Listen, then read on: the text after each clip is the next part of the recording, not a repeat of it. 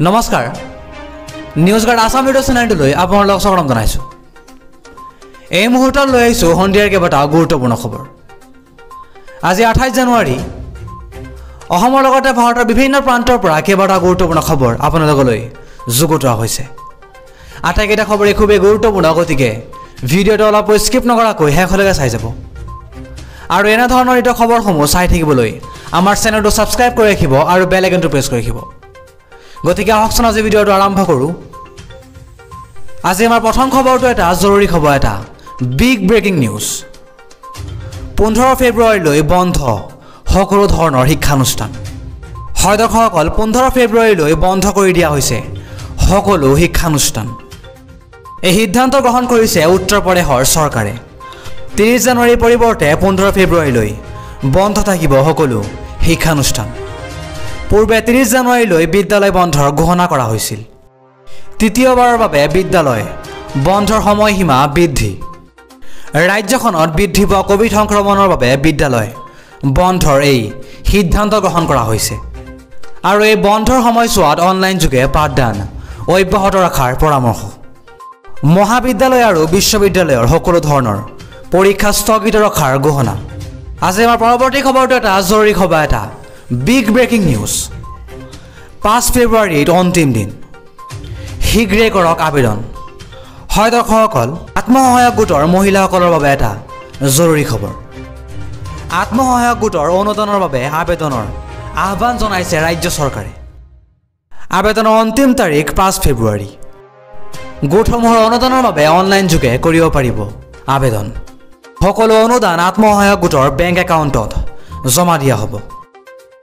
Online আবেদনৰ বাবে ইতিমধ্যে পৰ্টেল মুকলি কৰা হৈছে। আৰু পঁচিছ জানুৱাৰীৰ পৰা পাঁচ ফেব্ৰুৱাৰীলৈ এই পৰ্টেল মুকলি থাকিব। দুহেজাৰ একৈছ বাইছ বিত্তীয় বৰ্ষৰ অনুদানৰ বাবে অনলাইন যোগে কেনেকৈ কৰিব আবেদন? এই উল্লেখ কৰা ৱেবছাইটৰ যোগেদি আপোনালোকে অনলাইন আবেদন কৰিব পাৰে। গোটসমূহত দহৰ পৰা বিছগৰাকী সদস্য থাকিব লাগিব। আৰু আবেদনকাৰী সদস্যসকল ওঠৰ বছৰৰ পৰা ঊনষাঠি বছৰ বয়সৰ ভিতৰত হ'ব লাগিব। সদস্যসকল চাহ জনজাতি সম্প্ৰদায়ৰ হোৱাৰ লগতে অসমৰ স্থায়ী বাসিন্দা হ'ব লাগিব। যুটীয়া স্বাক্ষৰকাৰী ব্যৱস্থাৰ সৈতে বেংক একাউণ্ট থাকিব লাগিব। আঁচনিখনত এবাৰ অন্তৰ্ভুক্ত হোৱা গোটে তিনি বছৰৰ বাবে অনুদান বিবেচনাৰ অধিকাৰী নহ'ব। অধিক তথ্যৰ বাবে আপোনালোকে যোগাযোগ কৰিব পাৰে তলত উল্লেখ কৰা ইমেইল আই ডিৰ জৰিয়তে। আজি আমাৰ পৰৱৰ্তী খবৰটো এটা জৰুৰী খবৰ এটা। বিগ ব্ৰেকিং নিউজ অফলাইন পৰীক্ষা অনুষ্ঠিত কৰাক লৈ অভিযান্ত্ৰিক শিক্ষাৰ্থীৰ তীব্ৰ প্ৰতিবাদ। অসম অভিযান্ত্ৰিক মহাবিদ্যালয়ৰ শিক্ষাৰ্থীসকলৰ প্ৰতিবাদ।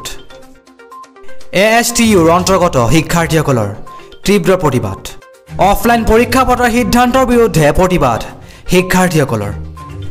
এ এছ টি ইউৰ অন্তৰ্গত অভিযান্ত্ৰিক মহাবিদ্যালয়সমূহৰ বহু শিক্ষাৰ্থী ক'ভিডত আক্ৰান্ত হৈছে। অনলাইন যোগে পৰীক্ষাসমূহ পাতাৰ দাবীৰে শিক্ষাৰ্থীসকলৰ তীব্ৰ প্ৰতিবাদ সাব্যস্ত। এ এছ টি ইউ মুৰ্দাবাদ ধ্বনিৰে উত্তাল প্ৰতিবাদস্থলী ছাত্ৰ ছাত্ৰীৰ জীৱনক লৈ হেতালি নিখেলিবলৈ আহ্বান জনাইছে প্ৰতিবাদকাৰী শিক্ষাৰ্থীসকলে। এই মুহূৰ্তত জনাইছোঁ আন এক জৰুৰী খবৰ এটা বিগ ব্ৰেকিং নিউজ বন্ধ হৈ থকা বিদ্যালয়সমূহ খোলাৰ প্ৰস্তুতি কেন্দ্ৰীয় চৰকাৰ।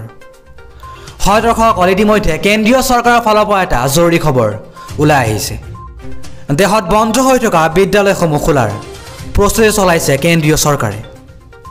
পৰ্যায়ক্ৰমে মুকলি কৰি দিয়া হ'ব দেশৰ সকলো শিক্ষানুষ্ঠান। ক'ভিডৰ পৰিপ্ৰেক্ষিতত শিক্ষানুষ্ঠান বন্ধ হৈ থকাৰ বাবে ছাত্ৰ ছাত্ৰীৰ দুটাকৈ শিক্ষাবৰ্ষ ক্ষতি হোৱাৰ পিছত চৰকাৰে মুকলি কৰি দিয়াৰ সিদ্ধান্ত লৈছে।